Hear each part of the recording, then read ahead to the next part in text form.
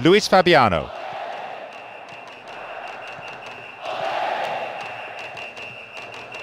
Maybe now. It's in. That was quick.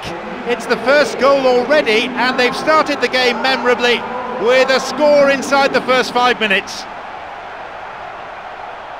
I just knew the forward was going to score. He always does from this position. You wouldn't expect any less from the fans. They are delirious after that stunning strike.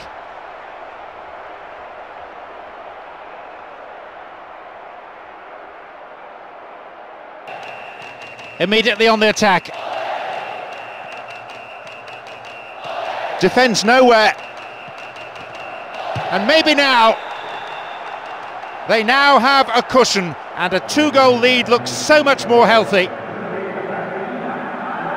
Once you see him raise the trusted right boot, there's only one outcome.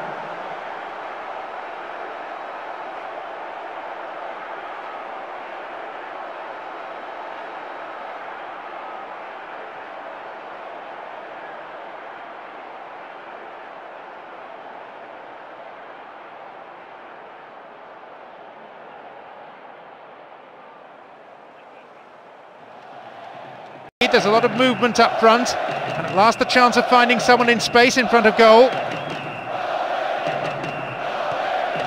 Robinho.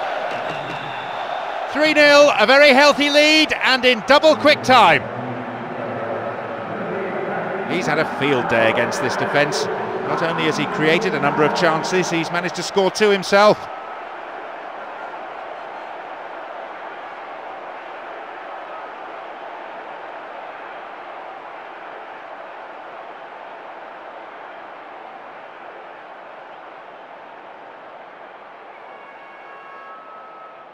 Luis Fabiano.